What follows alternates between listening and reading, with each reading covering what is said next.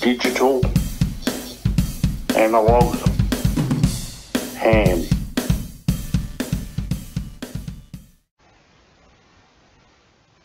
Right, this is just a quick demo just to show you that the UV5R can be programmed to transmit on a channel on VHF and listen on UHF.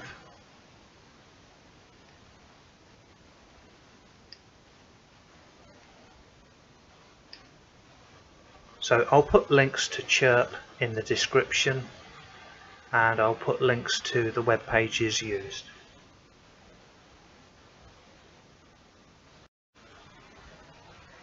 Right, hi everybody, it's Chris 2E0UKH and if you want a nice simple way to get your UV5R, a Baofeng or one of the variants uh, working on the uh, International Space Station voice repeater uh, take a look at John's site, John Miklor it's uh, M-I-K-L-O-R.com I spoke to John in a chat and um, he's got a ready-made file for the Baofeng UV5R, you know, and the variants. So uh, loads and loads of information about the uh, space station repeater and the Doppler effect, how far away it is, the uh, orbits per day, altitude, loads of information. And he's got a a ready-made file you can download. You know, it's got it's got about six channels in, something like that. And you can download this and copy and paste it into your own image. So you, you'd read from your radio, you'd open up Chirp, you'd load this file, copy all the data from this file, and then paste it into uh, your Baofeng or whatever variant you've got so uh, I've got actually got a Baofeng UV5R and uh, this file was created using a Baofeng UV82. So first step is to download the image. So you just click on that and it it's downloading in the bottom left of my display. I'm just going to make it make it go full screen. So uh, you know this is just a little data file. There's nothing harmful. I'm just highlighting where it is. It's down in the bottom left. It says uh, this type of file can harm your computer so I'm in a John Miklor sound so uh, it's just like a code plug file so I've downloaded it and um, I'm going to show it in the folder where it is and I'm going to drop it using the left mouse button drop it on the desktop I think it went on the desktop. I hope it did. It doesn't matter because I've got I've already got one on there because I was practicing. But um,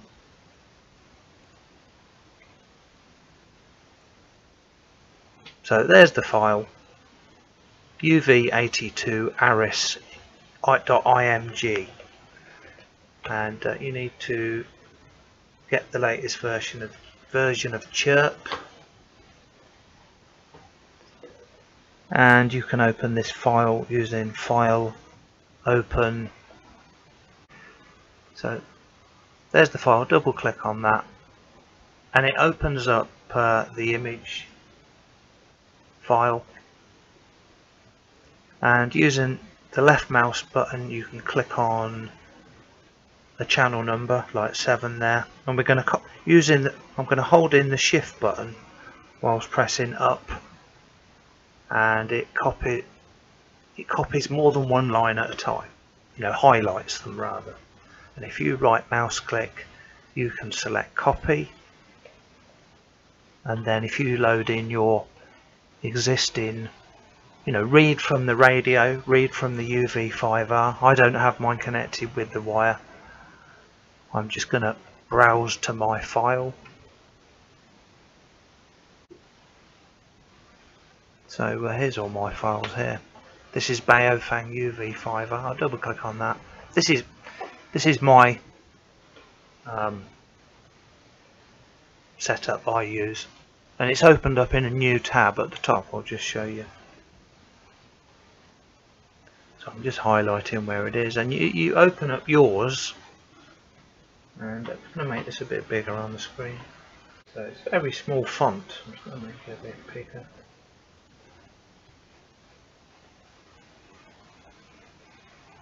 So you open up your file.